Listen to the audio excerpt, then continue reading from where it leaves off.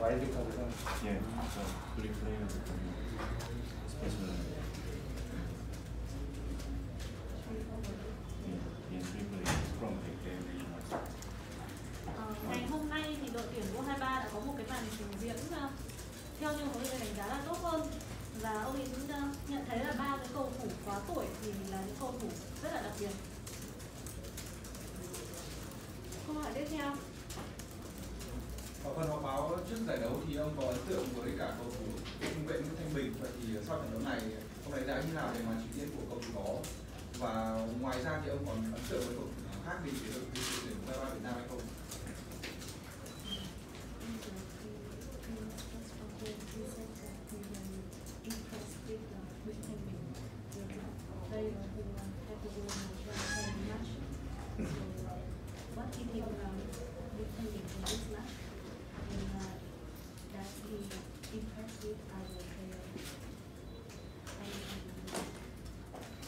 지난번 그 기자회견 때뭐 일본전에 그 눈에 띈 선수가 있다고 말씀하셨는데 오늘 경기에 또 뭐 비슷한 아주 좀 눈에 띄는 또 선수가 있었는지.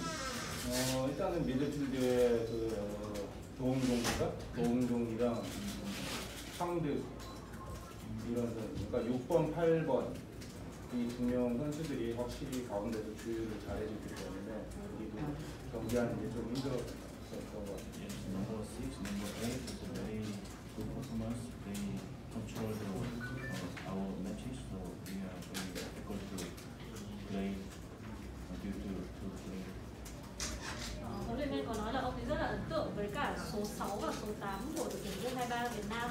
Đây là những cầu thủ mà có có cái màn trình diễn rất là tốt và trận đấu khiến cho tạo ra rất nhiều cái khó khăn cho đội tuyển U23 Hàn Quốc. Câu hỏi tiếp theo. À, ông nói rằng những cái cầu thủ à, quá tuổi đấy thì rất là đặc biệt phải chăng họ là những người định đoạt thắng thua trong trận đấu này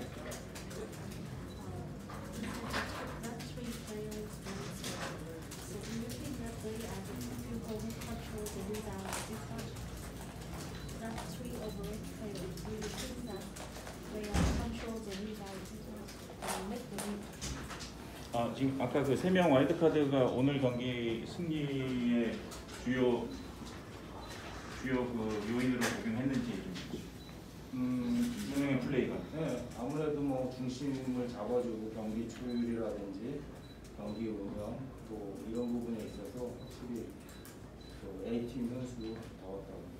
Yeah, it goes three player very good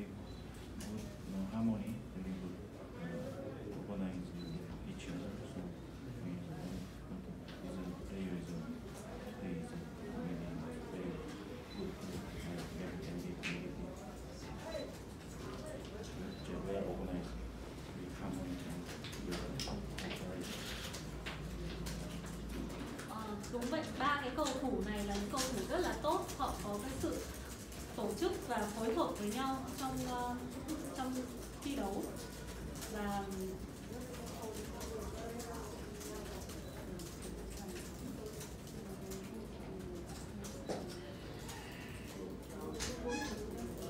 Mm, yeah, yeah, yeah.